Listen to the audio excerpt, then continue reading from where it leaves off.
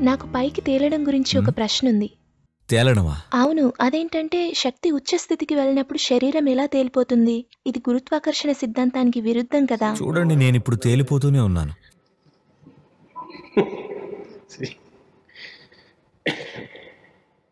అది ఎలా సాధ్యం అంటున్నారా? ఇదేనా మీ ప్రశ్న? లేకపోతే అసలు సాధ్యమా కాదా అనా అది అసలు సాధ్యమా? అది ఎలా జరుగుతుంది? మీరు అలా చేయగలరా?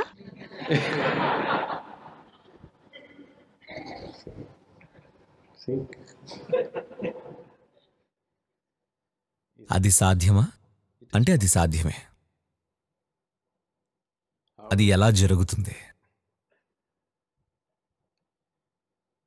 దానికి దానికి ఎన్నో మార్గాలున్నాయి.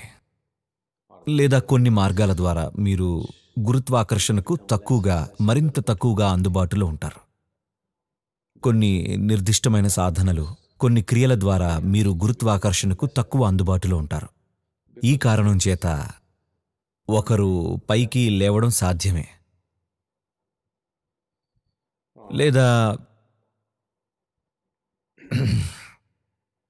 ఎవరికైనా కుండలిని అసమానమైన శక్తితో పైకి కదిలినప్పుడు వారు తేలిపోతూ ఉండకపోవచ్చు కానీ వారి శరీరం పైకి లేస్తూ మళ్ళీ కిందకి రావడం మీరు గమనించగలరు. అది అక్కడే పైనే ఉండిపోదు. కానీ పైకి లేస్తూ కిందకి దిగుతూ పైకి లేస్తూ కిందకి దిగుతూ ఉంటుంది.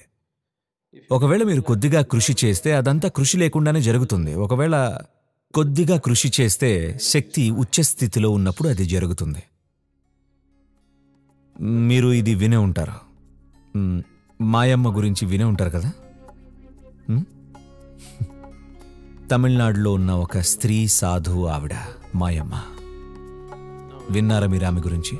ఆవిడ ఎక్కడి నుంచి వచ్చారో ఎవ్వరికీ తెలియదు కానీ ఆవిడ పోలికలు చూస్తే ఆవిడ నేపాలి అయి ఉండొచ్చు అనిపిస్తుంది. కానీ ఆవిడ ఎప్పుడూ మాట్లాడేది కాదు. ఆవిడ కన్యాకుమారిలో ఉండేది. దక్షిణ భారతదేశపు కొనలో ఉంటుందది. ఆవిడ స్నేహితులు ఎల్లప్పుడూ కుక్కలే. ఆవిడ వెనకాల ఒక పెద్ద కుక్కల గుంపే ఉండేది.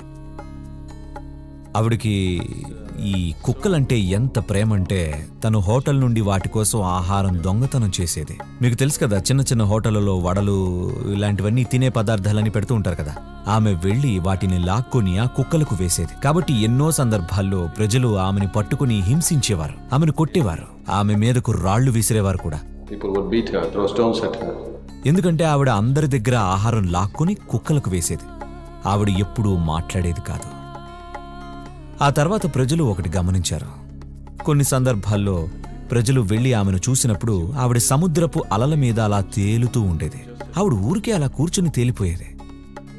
ఇది చూసిన ప్రజలు ఆవిడను సతాయించడం మానేశారు కానీ వాళ్ళ ఆహారాన్ని మాత్రం జాగ్రత్త చేసుకునేవారు అనుకోండి కానీ ఆవిడ్ని శారీరకంగా హింసించేవారు కాదు. ఎందుకంటే ఆవిడ సముద్రంలో తేలడం వాళ్ళు చూశారు. మీరు గురుత్వాకర్షణకు తక్కువ అందుబాటులో ఉండేందుకు ఎన్నో మార్గాలున్నాయి. నేను చేయగలనా అంటే నాకు ఈ భూమి మీద నడవడం అంటే ఇష్టం. నాకు తేలిపోయే ఉద్దేశం లేదు. సాధారణంగా హఠయోగ మార్గాన్ని అనుసరించే కొందరు సామాన్యంగా ఇటువంటి విన్యాసాలు చేస్తారు. Is of no life significance. జీవపరంగా చూస్తే దీనికి ఎటువంటి ప్రాముఖ్యత లేదు. ఇప్పుడు మీరు తేలిపోయినా లేదంటే రోజులో కొద్ది నిమిషాల పాటు మీరు గాల్లో పైకి లేచినా దానివల్ల మీ జీవితంలో ఏ మార్పు వస్తుంది చెప్పండి? ఇక్కడ మేము చేస్తున్న కృషి అంతా దేని గురించంటే మీరు జీవితంలో సునాయాసంగా పయనించగలరు. అంటే భూమి మీద అనుకోండి మీ జీవితంలో ఏం జరిగినా సరే మీరు ఎటువంటి పరిస్థితులను ఎదుర్కొన్నా సరే మీరు జీవితంలో చిక్కుకుపోకుండా నడుచుకోగలుగుతారు. ఒక చిన్న పిల్లాడ్లాగా. మీరిప్పుడే పుట్టినట్టు మీ జీవితంలో ఎన్ని విషయాలు జరిగినా సరే దాంతో సంబంధం లేదు. మీ జీవితంలో చాలా విషయాలు సరిగ్గా జరగకపోయినా సరే ప్రతి విషయం తప్పుదారిలో వెళ్తున్నా సరే ప్రతి ఒక్క సంక్షోభాన్ని ఎదుర్కొంటున్నప్పటికీ మీరు జీవితాన్ని సునాయాసంగా దాటగలగాలి.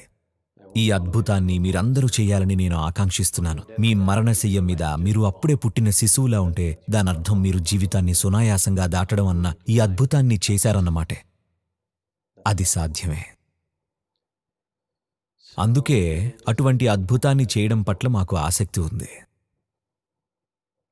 గాల్లో తేలడం లేదా నీటి మీద నడవడం వీటితో మీరు ఏం చేసుకుంటారు? ఒక మూడు రోజులు మీరు నీటి మీద నడవడం మొదలుపెట్టినప్పుడు అంతా బాగానే ఉంటుంది. ఎందుకంటే అందరూ మిమ్మల్ని గమనిస్తారు. కానీ ప్రతిరోజు మీరు నీటి మీద నడుస్తున్నట్లయితే ఎవరూ మీ వైపు చూడరు. వాళ్ళందరూ స్పీడ్ బోట్స్ తీసుకొని బుష్ అని వెళ్ళిపోతారు. అప్పుడు మీరు కూడా బోట్ ఉంటే బాగుండు అనుకుంటారు. అవునా?